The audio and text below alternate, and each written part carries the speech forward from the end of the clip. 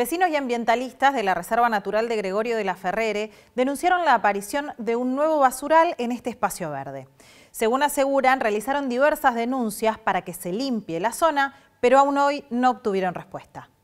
Bueno, en la Reserva de la Ferrere eh, hemos encontrado un nuevo basural que se, estuvo armando estos últimos meses, este, lamentablemente. Eh, ya tenemos un basural enorme en la entrada de Piedrabuena y Boisín. Este sería dentro de eh, la zona del 24700, frente a la subestación, a esa altura más o menos, este, un basural que se formando progresivamente y empezamos a encontrar que cada vez más basura este, se tiraba en este lugar eh, y fuimos a inspeccionar encontramos eh, basuras que tenían el logo del municipio, había vecinos que habían visto camiones de la municipalidad, este, vimos muchos escombros, restos de obra pública, restos de poda, entonces nos empezamos a preocupar y empezamos a, movilizarnos para evitar que se instale un nuevo basural dentro del predio que estamos queriendo proteger como reserva, ¿no? Este, todo lo contrario a lo que significa un basural clandestino de estas características.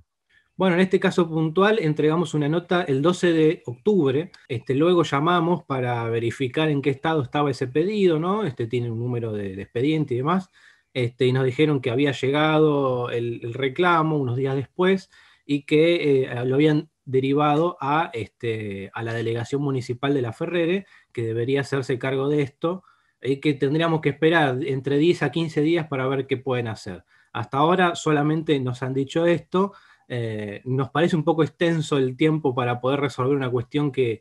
que nos parece urgente, este, teniendo en cuenta que los basurales y los microbasurales dentro de la ciudad de La Ferrere y de La Matanza son un grave problema bastante antiguo y que lamentablemente no está teniendo una solución este, correspondiente, eh, y menos cuando ya hay una intervención que, creemos, suponemos, este, tiene que ver con el municipio o, con algún sector del municipio, teniendo en cuenta que hay bolsas del municipio de La Matanza, hay camiones descargando material y demás, nos parece algo grave que el municipio, además de no cuidar el lugar que estamos pidiendo como reserva, teniendo en cuenta la, necesidad de espacios verdes, este, haga todo lo contrario, ¿no? este, termine este, degradando el lugar, eh, no sabemos bien con qué intenciones. Es un lugar que, bueno, hay, mucho tránsito de vecinos, ahí está la ruta 3 muy cerca, eh, hay muchos vecinos que van a correr hacer ejercicio en esa zona. Este, lamentablemente este tipo de basurales trae mucho tipo de, problemáticas como enfermedades.